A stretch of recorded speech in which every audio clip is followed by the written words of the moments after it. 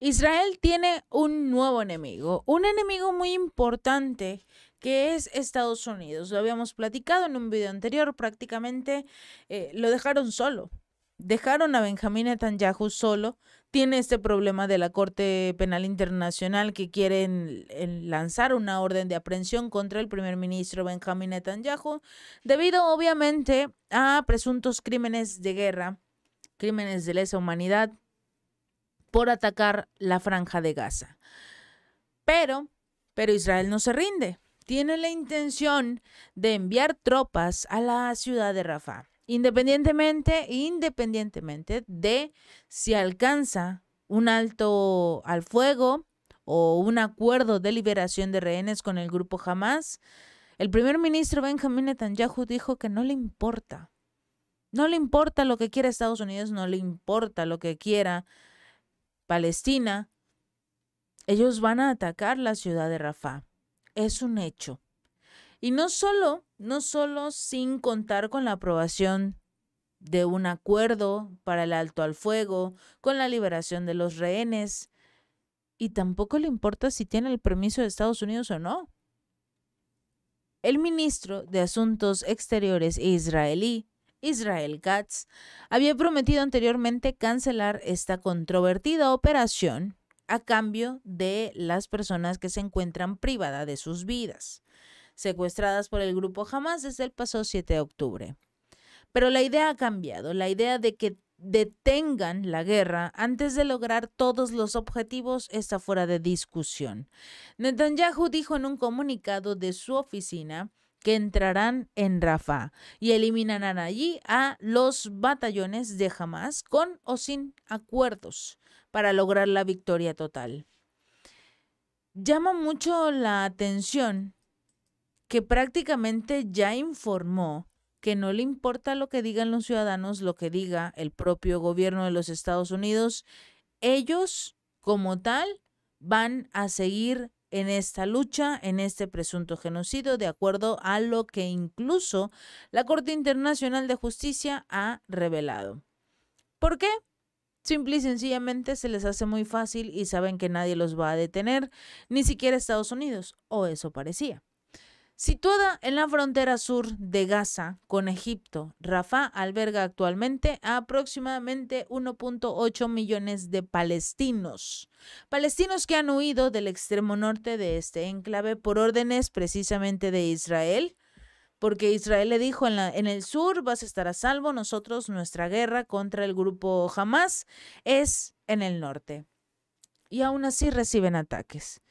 Israel ha llevado a cabo ataques aéreos regulares en la ciudad de Rafah contra lo que afirma serían objetivos de Hamas, pero también hay ciudadanos civiles inocentes entre estos ataques. Y nadie hace absolutamente nada por defender a los ciudadanos israelíes. Pero este funcionario, Katz, dijo que Israel suspendería la operación solo y únicamente si jamás aceptaba liberar a algunos de los alrededor de 130 rehenes que aún se encontraban en cautiverio en Gaza. Jamás estaba ya estudiando una propuesta israelí de un alto al fuego, aceptó una propuesta de alto al fuego que haría sobre todo que los combates se detengan temporalmente un par de semanas para que varias docenas de, rehenes puedan ser intercambiados por prisioneros palestinos en cárceles israelíes.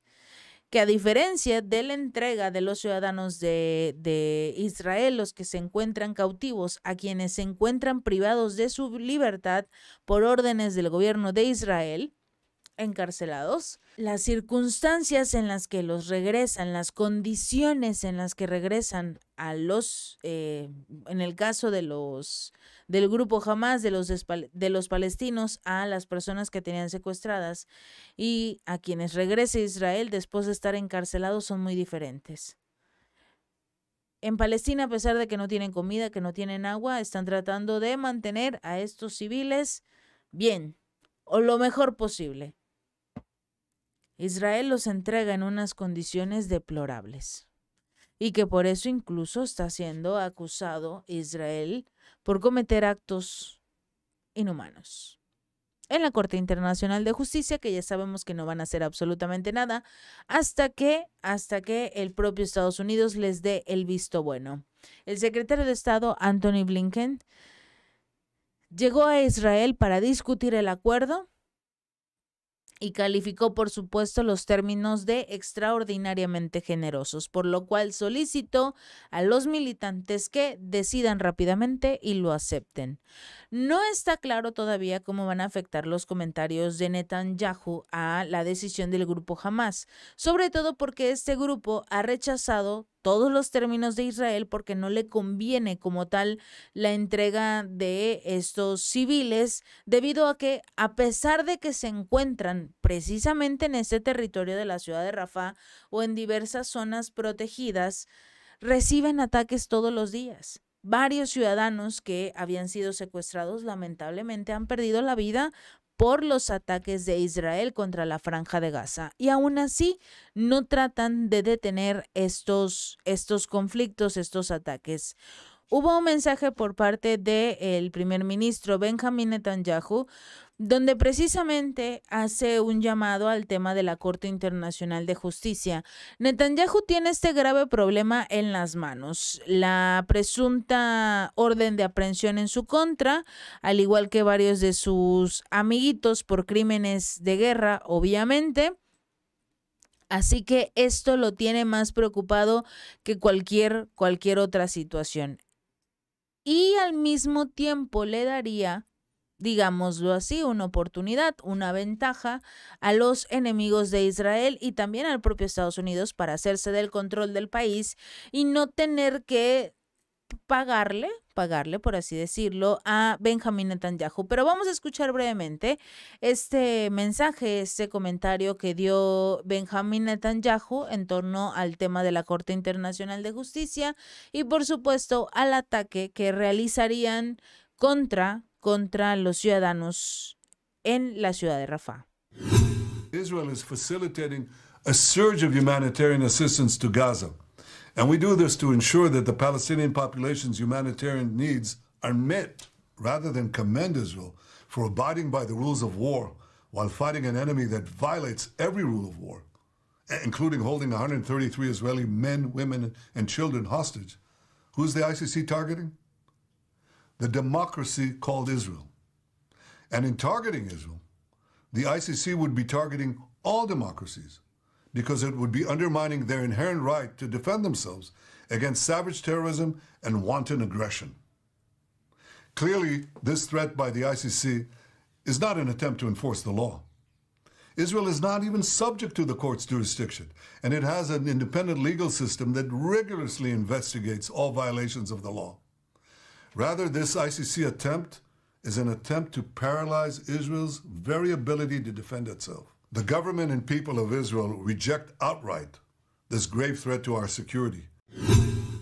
Benjamin Netanyahu dijo algo maravilloso, algo completamente maravilloso. Israel ni siquiera está sujeto a la jurisdicción de este tribunal. ¿Saben quién tampoco está sujeto a esta jurisdicción? Rusia. ¿Y saben quién tiene una orden de aprehensión por estar tratando de salvar a los jóvenes, a los niños ucranianos de las masacres, de los ataques que estaban realizando los militares ucranianos contra el Donbass, Lugansk, Gerson, Zaporilla, Rusia? Vladimir Putin. Él los estaba salvando. Y en este caso, Israel es el que está atacando a los niños, a los niños inocentes en Palestina les están lanzando misiles. Y no hay una orden de aprehensión en su contra. Y dice que no está sujeto a la jurisdicción. Entonces, ¿por qué Rusia tendría que preocuparse? Si este video te gustó, no olvides darle like y compartir. Nos vemos la próxima.